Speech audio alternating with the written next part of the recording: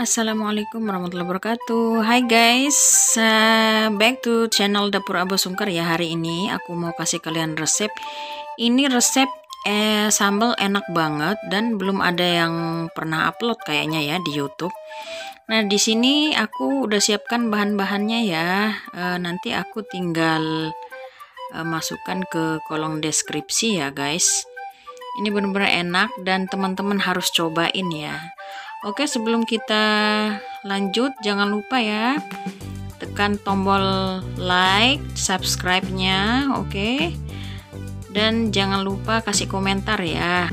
Dan buat teman-teman yang mau buka usaha kuliner pecel ayam, teman-teman bisa pakai resep sambal aku ini ya.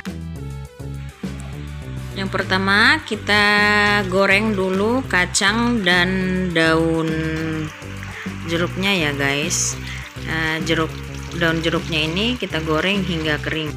Setelah itu kita goreng bawang merah dan bawang putihnya. Ini kita goreng setengah matang ya.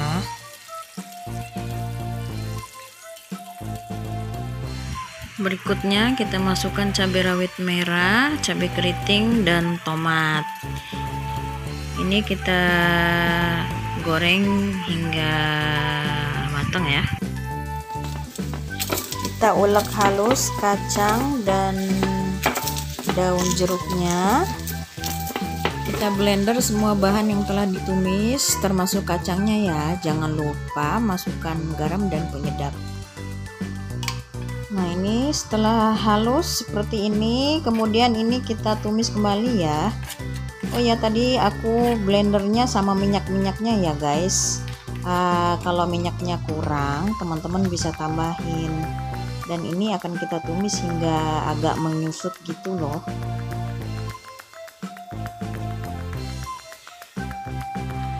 Setelah menyusut kita masukkan terasi bubuk ya. Kalau teman-teman punya terasi ABC teman-teman bisa pakai terasi ABC tapi aku lebih suka terasi bubuk karena lebih enak sih menurut aku ini kita tumis kembali sebentar ya. Nah ini eh, sambelnya udah jadi ya teman-teman.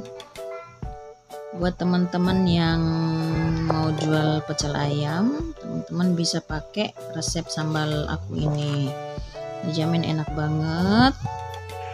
Oke, sampai di sini dulu ya resepnya teman-teman. Jangan lupa kasih komen ya, like dan subscribe. Terima kasih. Assalamualaikum warahmatullahi wabarakatuh.